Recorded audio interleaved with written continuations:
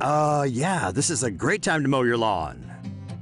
A photo of a very determined man in Canada mowing his lawn while a large tornado approached behind him has attracted plenty of attention on social media. The tornado was sighted near a town called Three Hills in Alberta. Prior to the incident, local resident Theunis Wessels reportedly told his wife Cecilia that he wanted to mow the lawn ahead of a busy weekend. Cecilia was later woken from a nap by her nine year old daughter, who was upset that there appeared to be something like a tornado in the sky, and her dad wouldn't come inside. Since the Wessels have never seen a tornado in their lives, Cecilia took a picture of the incident to show her parents back home in South Africa. But people were less fascinated by the tornado than they were by the image of her husband pushing a lawnmower while the twister loomed behind him. But Theunis seemed unconcerned, saying he was keeping an eye on it. Luckily, no injuries were reported from the tornado. Theunis said the tornado was actually far away, and he succeeded in finishing cutting the grass, commenting that the lawn now looks nice. Say no to safe spaces on YouTube. Support Tomo News at patreon.com slash Tomo News. Uh, be careful of tornadoes. Not everyone is as lucky as Theunis and his family. Texas couple chatting on FaceTime when tornado kills wife. Seven motorists were killed near Garland, Texas Saturday night after a tornado packing winds of up to 200 miles an hour ripped up roads and overturned vehicles. Petra Ruiz Porres, a 27 year old mother of four, was among the victims. Her husband Ruben sadly witnessed the moment of his wife's death. Ruben Porres had surprised his wife on Christmas Day with a gift, a solo trip to a hair salon for some R&R, something any mom will tell you is quite a treat. Driving back to their home in Mesquite after the appointment, Petra turned on FaceTime and started chatting with Ruben about dinner and family stuff. When suddenly, Ruben heard Petra begin screaming. He watched as the screen got fuzzy and then went black. Using a locator app, Ruben identified the spot where his wife's phone signal had come from, and a friend drove him to the site. Blocked roads forced Ruben to run the last mile, past trees torn to shreds and cars flipped over like toys. He says he was just hoping she was still alive. When he arrived at his wife's crushed, overturned vehicle, his hopes were shattered. Petra Ruiz Porres, a mother, wife, and Ruben's best friend, was dead. He leaned in and held her hand one last time.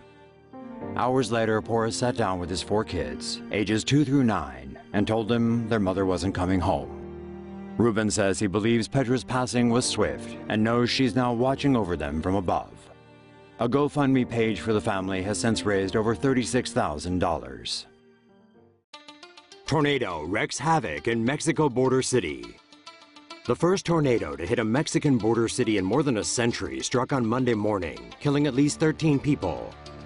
A tornado struck the Mexican border city of Ciudad Acuna at 6:40 on Monday morning.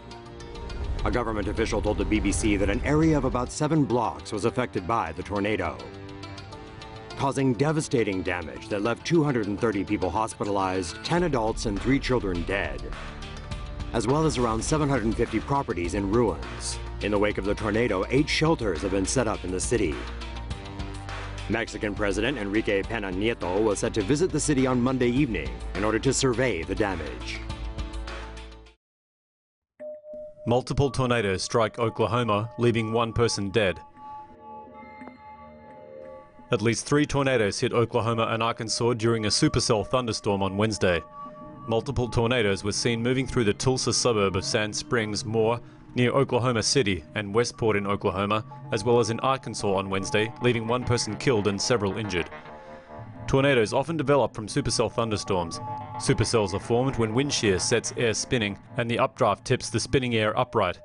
The updraft then starts rotating, forming mesocyclones within the supercell.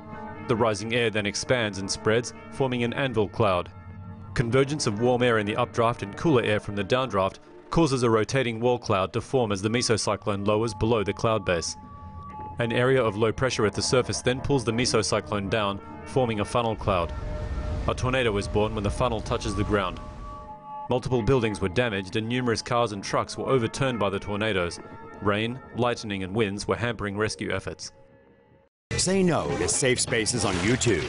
Support Tomo News at patreon.com slash Tomo News. Don't believe in God? Watch this video and you just might change your mind. Watch the bottom left of the screen. See that person looking for shelter? Then boom, a tornado slams into the building. That woman is either exceptionally lucky, or as she believes, was spared by the hand of God. OMG indeed. And that was just one of the over 50 strong tornadoes that hit the Gulf and east coast of the U.S. between February 23rd and 24th. Wikipedia reports the storms were the second largest tornado outbreak ever recorded in the States, which sadly claimed the lives of at least seven people. The survivor you saw is Kira Johnson, who works as a FedEx driver in Louisiana. Shortly after 3 p.m. on February 23, 2016, Johnson tried to escape an approaching tornado. Leaving her vehicle, she desperately ran towards Sagona's True Value hardware store in Paincourtville. The store was locked up, and after tugging on the doors for a second or two, Johnson disappears off screen. Moments later, bam, the entire building is ripped to shreds. We can't see it, but Johnson survived by wedging herself between a wall and a vending machine, and it was just enough cover to spare her a grisly fate. Other cameras at the store also recorded the moment the twister struck, and as you can see, it doesn't look very survivable. The store was pretty much obliterated. 45 homes were wiped off the map, while 22 other buildings were seriously damaged. Kira Johnson told the media, I braced myself between the Coke machine and the wall, and I just know it saved me. Jesus saved me, she said, recounting how she prayed that God would spare her life as the winds howled around her.